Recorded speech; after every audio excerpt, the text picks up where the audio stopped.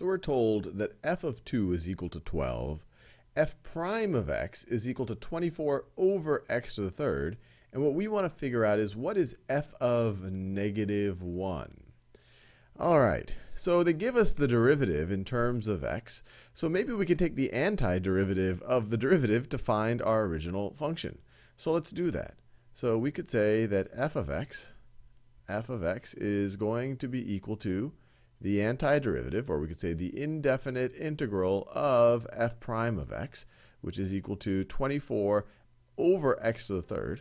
I could write it over like this, 24 over x to the third. But to, to help me process it a little bit more, I'm going to write it, I'm going to write this as 24x to the negative 3, because then it'll become a little how to take that antiderivative d dx. And so what is the antiderivative of 24x to the negative 3? Well, we're just going to do the power rule in reverse.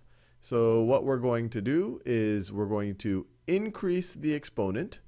So let me just rewrite it. It's going to be 24x to the, we're going to increase the exponent by 1. So it's going to be x to the negative 3 plus 1. And then we're going to divide by that increased exponent. So negative 3 plus 1. And so that is going to be negative 3 plus 1 is x to the negative 2, and then we divide by negative 2. And if you're in doubt about what we just did, where we're kind of doing the power rule in reverse, now take the power rule, uh, take the derivative of this using the power rule. Negative 2 times 24 over negative 2 is just going to be 24, and then you decrement that exponent, you go to negative 3. So are we done here? Is this f of x? Well, f of x might involve a constant. So let's put a constant out, out here. Because notice, if you were to take the derivative of this thing here, the derivative of 24x to the negative 2 over negative 2, we already established is 24x to the negative 3. But then if you take the derivative of a constant, well, that just disappears. So you don't see it when you look at the derivative. So we have to make sure that there might be a constant. And I have a feeling, based on the information that they've given us, we're going to make use of that constant. So let me rewrite f of x. So we know that f of x can be expressed as 24 divided by negative 2. It's negative 12 x to the negative 2 plus some constant. So how do we figure out that constant? Well, they have told us what f of 2 is. f of 2 is equal to 12.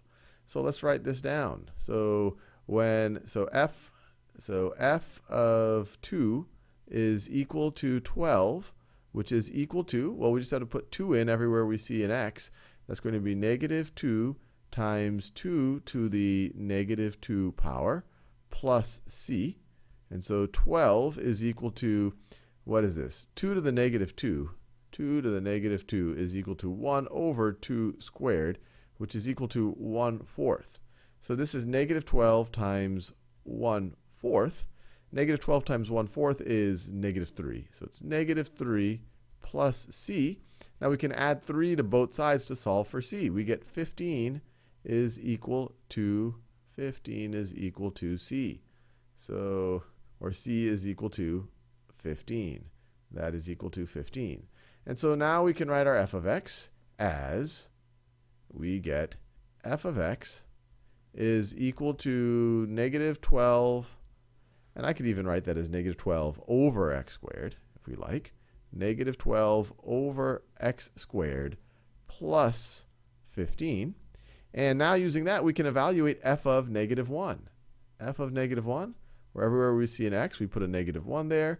So this is going to be negative 1 squared.